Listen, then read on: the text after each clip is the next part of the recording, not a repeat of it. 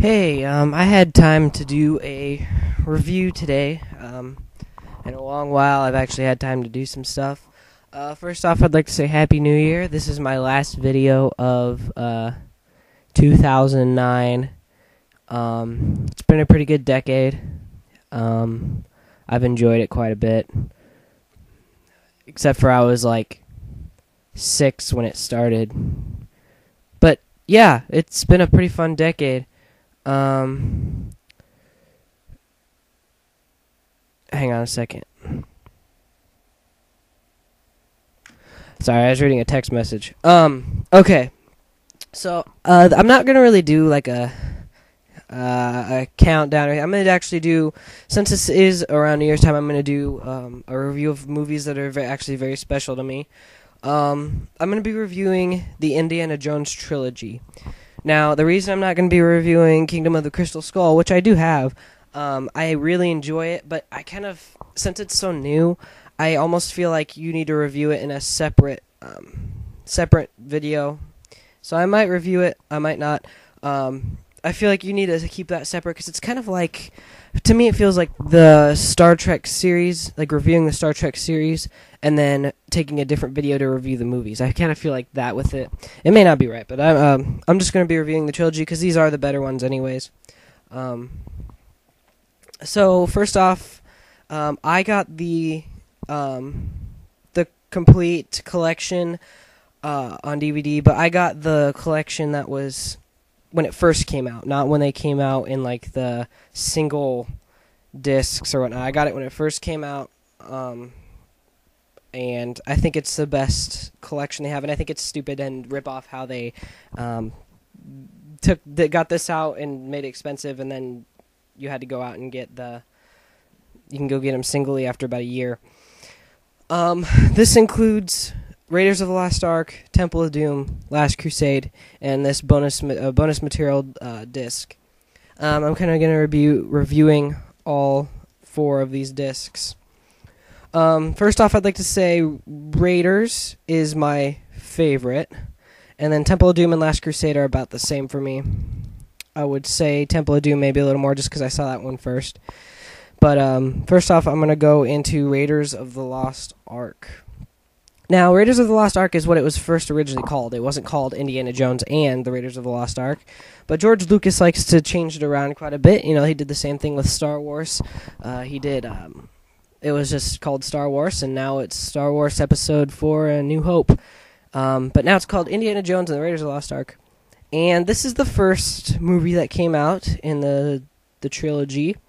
Um, I'm, I'm assuming George Lucas didn't want to didn't meant didn't think about it being a trilogy because he never really thinks about that stuff. But um, this is by far the best one, I think, in my opinion. It's just um, the pinnacle of what Indiana Jones is. Um, basically, if you don't know the story of Indiana Jones, he's an archaeologist who goes around and finds uh, sacred artifacts. Um, and he goes on all basically adventures. First, I'd just like to say Indiana Jones is like the pinnacle of of adventure movies. Um, they are like if you want adventure in a movie, you got to see Indiana Jones, duh. But um, I've I've watched Raiders since I was about eight years old, and I've just loved it. Um, it has Nazis. It has uh, big giant balls rolling at a, at a dude. Uh, it's kind of just um, has it has a fine mixture of uh, love, seriousness, action, and comedy, and um, highly recommend all of these Indiana Jones movies. But this one, uh, yeah, this one's the best. Um, they're looking for the Ark of the Covenant, which is what Moses kept his um, the Ten Commandments in, supposedly and they're looking for that, and it's a classic, and I don't really have to say much about it. Okay, and then t- Temple of Doom. This came out uh, not long after the first one. Um, it it's been criticized for it being more darker. It's been kind of the least favorite of the Indiana Jones movies because of its being dark and whatnot.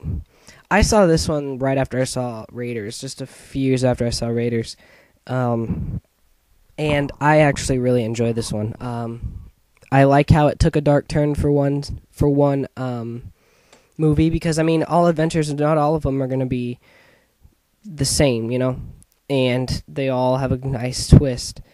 Um, this actually, this one actually takes place um, a few years before Raiders would have taken place if you went in the timeline of the story. Um, even though this one came out second. Um, basically, I don't remember what the what the thing you searched. They're like uh, rocks. they're like sacred uh, glowing rocks or whatever.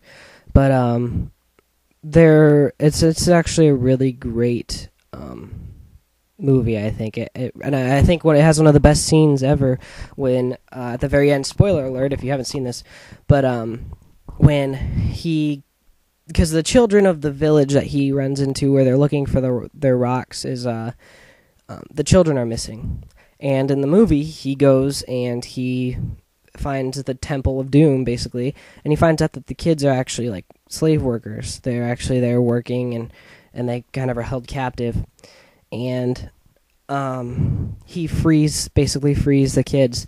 And it's a touching scene at the very end where it's it's playing the Indiana Jones music and he's on a hill and all of a sudden all these kids come running behind him to the village and all the parents see him coming. And it's just I think it's really um, a great shot and just a great it just makes you feel good after you see it.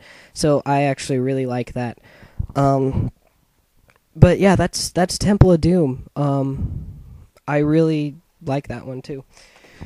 Next is Last Crusade. Now, Last Crusade, um, I saw this one uh, quite a while after I saw the other two. This one, uh, for some reason, I just never really saw as much of. My dad didn't really have it, so like we never really watched it.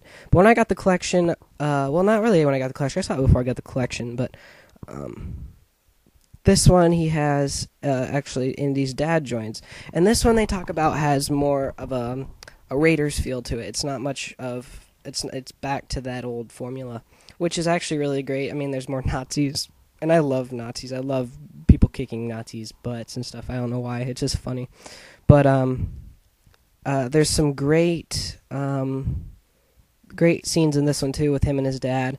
There's a great um flashback scene when he's a kid, like his first adventure, basically.